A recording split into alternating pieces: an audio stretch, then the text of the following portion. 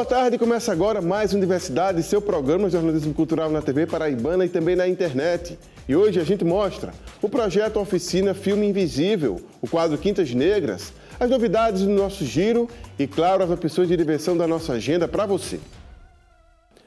Através de uma parceria com a Associação de Juventudes, Cultura e Cidadania, a JURC, dois realizadores audiovisuais ministraram a oficina Filme Invisível em algumas comunidades da Paraíba o que resultou na produção de três curtas documentais. Veja na reportagem. O projeto Filme Invisível contempla uma série de oficinas de produção audiovisual idealizadas por Ian Albuquerque e Oscar Araújo e ministradas em comunidades com pouco ou nenhum espaço na mídia tradicional. Tanto nas periferias como nas comunidades quilombolas, como nas comunidades indígenas, né?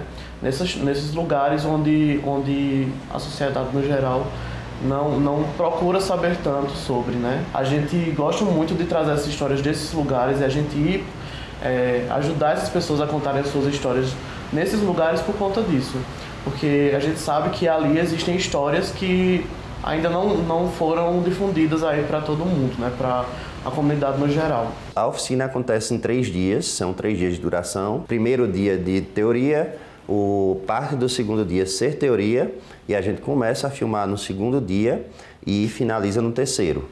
É corrido, é, é bastante cansativo, às vezes, mas vale muito a pena pelo resultado final. Através de uma parceria com a AJURC, as oficinas deram vida a curtas-metragens produzidos por jovens de três comunidades diferentes e que foram exibidos no primeiro festival Conecta Juventudes, realizado na cidade de Cabaceiras em janeiro deste ano.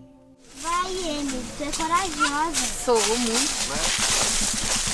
O primeiro trabalho nascido dessa parceria foi o curta Reino Encantado, desenvolvido por jovens da comunidade quilombola de Caiana dos Crioulos, em Alagoa Grande. O filme gira em torno das histórias que permeiam o imaginário dos moradores da região sobre uma antiga pedra com escritos misteriosos. Existiam histórias de que ali teria, por exemplo, um reino que era encantado, que poderia ser aberto ali se alguém conseguisse ler aquelas palavras que estavam escritas na pedra. E essa história foi começando a ser perdida na comunidade. Então, é, os jovens de lá quiseram é, criar, né, eternizar essa, essa memória afetiva, eu diria, né, e cultural também daquele lugar. As participantes, porque foram todas mulheres nessa oficina, contribuíram muito com a gente, elas criaram um roteiro, elas desenvolveram toda, toda a história com a gente. Com a borracha, Aqui parece essas tipo... coisas assim. Ela tá meio apagada assim, mas eu acho que é por, por conta, conta da, da chuva e o sol, e o tá sol é, mas não é um objeto assim que a gente consegue uhum. assim apagar para ela. É, participar da oficina foi uma coisa muito legal, porque, tipo, nunca tinha feito isso. Foi uma experiência, tipo, muito diferente. E eu consegui, consegui, consegui conhecer novos mundos e até ter novos interesses sobre isso. O segundo curta foi desenvolvido com jovens da aldeia do Alto do Tambá, no município de Bahia da Traição. O filme recebeu o título de Água Corrente e conta sobre a relação dos moradores com o antigo rio que passa pela comunidade. Há muito tempo atrás ele se viu para que a comunidade né, pudesse buscar água, pudesse tomar banho, onde as crianças brincavam. Nos dias atuais ele se encontra assoreado. Então nós decidimos contar essa história, né? Contar como é que está na atualidade. Mas temos o grupo Águas Potiguara, que todos os sábados eles vão lá fazer a limpeza. É tudo voluntário, mas é gratificante ver a recuperação do rio e a recuperação da memória do nosso povo. Na oficina, nós tivemos a oportunidade de conhecer um pouco sobre a teoria do cinema e também sobre técnicas do audiovisual. E essa experiência foi muito enriquecedora, porque a partir desse conhecimento, nós tivemos a oportunidade de protagonizar a nossa própria história foi tudo uma primeira vez para mim. A primeira vez que eu pude segurar em uma câmera, que eu aprendi um pouco sobre ela, a primeira vez que eu ajudei a produzir um filme, participar do roteiro, e foi uma experiência maravilhosa e que eu sei que eu vou levar para minha vida o aprendizado que eu tive. O último filme nascido da parceria com a Jurk foi o curta Meu Pedrega, ele foi desenvolvido com jovens do bairro do Pedregal, em Campina Grande, e buscou discutir e rebater o preconceito que essa comunidade sofre. Mostrar que no Pedregal não só tem criminalidade, não só tem é, coisas ruins, trazer o outro lado da moeda. De falar que aqui tem muita artista, muita gente trabalhadora, é, muita gente potente, né? E eu acho que o documentário tem muito esse intuito. Para mim, o que eu mais gostei foi descobrir como é, é um, como é criado um filme e um documentário por trás das câmeras. Toda a produção, no meu caso, eu, eu não fui entrevistada, mas eu fiz parte de toda a realização.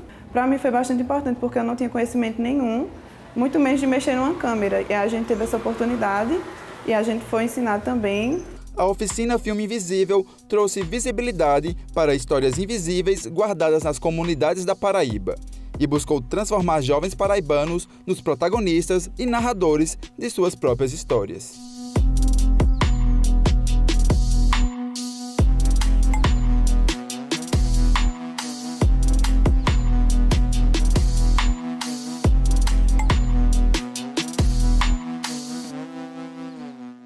Quem chega agora com as últimas notícias é Lucas Tassiano. A primeira de hoje é sobre cinema. Oi, Lucas, boa tarde. Oi, Hermano. A primeira informação de hoje é sobre o lançamento do filme Garfield Fora de Casa. Tá com fome, rapazinho? E quem não gosta desse gatinho? Nessa nova aventura, Garfield Fora de Casa vive momentos engraçados com seu amigo canino o gatinho tem um reencontro inesperado com seu pai. Eles juntos deixam sua vida perfeitamente mimada para realizar um assalto pra lá de engraçado. Nossa parada.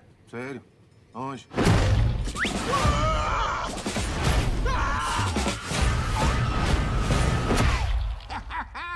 uh, aí onde? Pensei que ele estivesse esperando.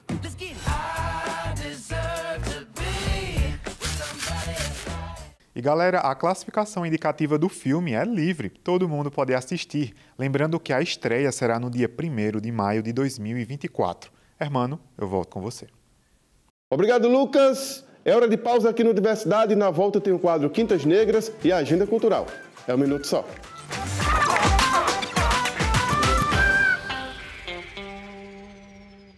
Estamos de volta com Diversidade hoje é dia de conhecer mais uma obra importante para a cultura afrodescendente produzida por uma mulher negra.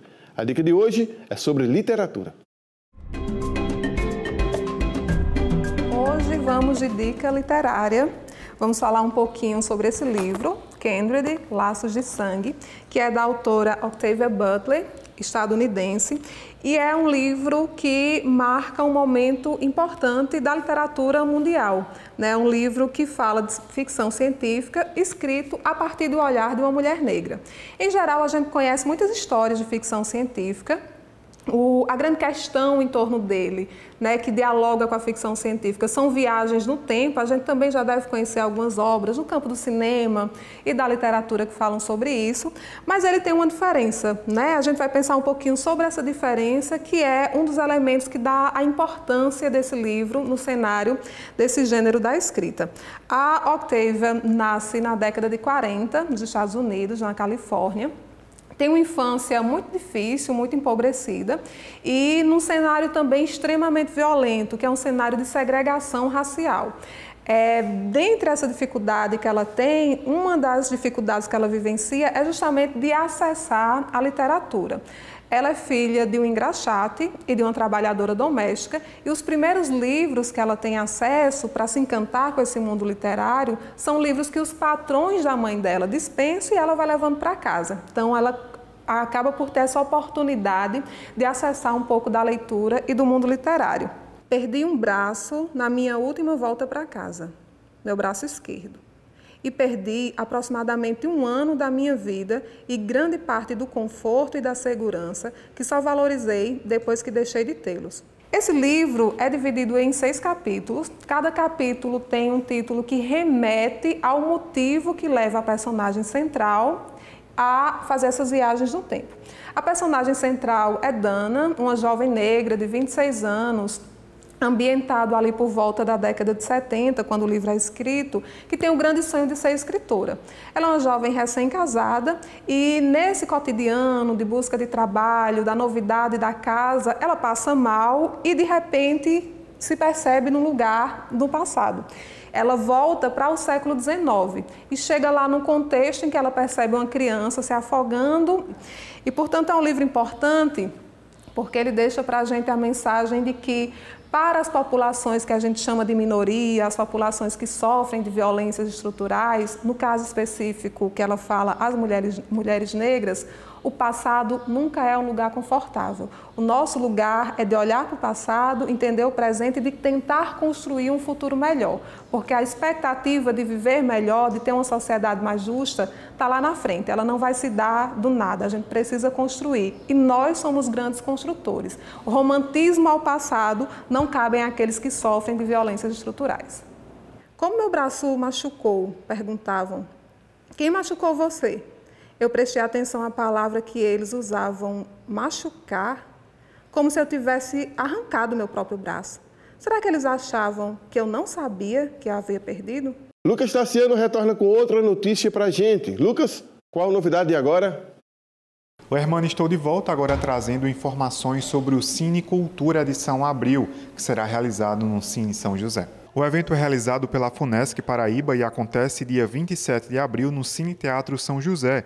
A programação começa às 18 horas, terá show musical com Aflorarte, apresentação de dança com o coletivo TANS, feira de artesanato e exposição. A entrada é gratuita. Uma programação para vocês curtirem nesse sabadão. Hermano, eu volto com você. Quer programar sua diversão para esta quinta-feira? Então veja as dicas da nossa agenda cultural. Hoje, às duas da tarde, no Teatro Multifuncional do Centro Cultural BNB, em Souza, o professor Kidelmir Dantas apresenta a palestra Síntese Cronológica do Cangaço. A entrada é gratuita. Às sete da noite, o Teatro Multifuncional do Centro Cultural BNB recebe mais uma edição do projeto Em Bola Viola, com a apresentação dos cantores repentistas Cícero Cosme e Guilherme Nobre. A entrada é gratuita. Também às sete da noite, no Mini Teatro Paulo Pontes, em Campina Grande, acontece mais uma edição do projeto Quintas Artísticas, com a apresentação do show Nos Caminhos da Alma, de Carolina Medeiros. Ingressos disponíveis pelo simpla.com.br. E no cinema de Campina Grande estreiam hoje os filmes Ursinho Pool, Sangue e Mel 2, Contra o Mundo, Aumenta que é Rock and Roll e Spy Family, Código Branco. E continuam em cartaz Guerra Civil, Abigail, Ghostbusters, Apocalipse de Gelo, Godzilla e Kong, O Novo Império e Kung Fu Panda 4. Os horários e valores dos ingressos estão disponíveis no site do cinema. O programa de hoje termina aqui. A noite universitária está de volta a partir das 6 horas. Pelo número que aparece aqui na tela, você entra em contato com a gente e sugere artistas e assuntos para reportagens. No nosso canal no YouTube você revê tudo que foi exibido aqui no programa. Uma ótima tarde para você e um abraço. Tchau!